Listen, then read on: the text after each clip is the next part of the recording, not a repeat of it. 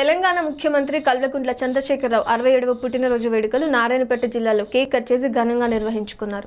మద్దూరు మండల కేంద్రంలో మద్దూరు మండలం టీఆర్ఎస్ పార్టీ నాయకులు కార్యకర్తలు అభిమానులు మొక్కలు నాటడంతో పాటు ప్రభుత్వ ప్రాథమిక ఆరోగ్య కేంద్రంలోని రోగులకు పండ్లు పంపిణీ చేశారు.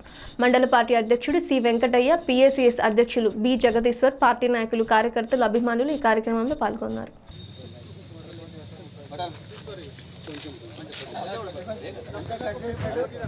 గారి జన్మదిన సందర్భంగా ఈరోజు ఈ జన్మదిన శుభాకాంక్షలు తెలుపుతూ సర్పంచుల సమస్యలు చాలా ఉన్నాయి.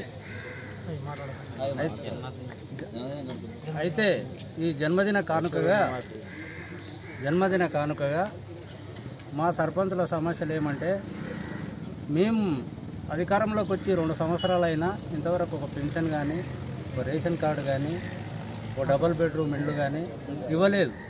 కాబట్టి ఈ కేసీఆర్ జన్మదిన శుభాకాంక్షలు తెలుపుతూ ఈ రోజు నుంచి ఆ ఆ దిశగా అడుగులు వేస్తూ ఈ మూడు పనులు ఒకటి పెన్షను ఒకటి రేషన్ కార్డు ఒకటి డబుల్ బెడ్రూమ్ ఇండ్లు ఇవి మంజూరు ఇచ్చి మా సర్పంచులకు మంచి గౌరవం ప్రసాదిస్తాడని ఆశిస్తూ మన ప్రియతమ ముఖ్యమంత్రి కల్వకుట్ల చంద్రశేఖరరావు గారి జన్మదినం సందర్భంగా మద్దూరు మండల నాయకులు మా నాయకులందరి సమక్షంలో ఈ పుట్టినరోజు జరుపుకోవడం మాకు చాలా సంతోషంగా ఉంది.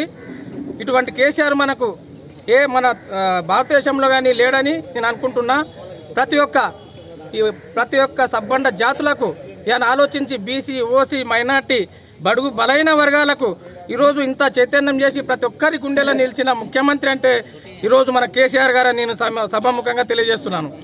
ప్రతి ఒక్కటి ఆసరగా ఆసర పింఛన్లు కానీ రైతు బంధు కానీ రైతు బీమా కానీ రైతు ప్రతి ఒక్కటి హాస్పిటల్లో ఉంటే ప్రతి ఒక్కరికి ముందుకొచ్చి చేస్తున్నా అంటే ఈరోజు మన ముఖ్యమంత్రి కేసీఆర్ అందరి గుండెలో నిలిచి స్థిరస్థాయిగా వందేళ్ళు మా అందరి ఈ ప్రజల ఆశీస్సులతో మా- ఉండి ఇంకా సేవ చేసి మున్ముందు కూడా అతని ఆధ్వర్యంలో మా మండల పార్టీ